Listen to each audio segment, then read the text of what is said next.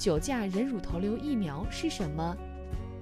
如恩医生特邀专家陈立红，陕西省人民医院妇科主任医师。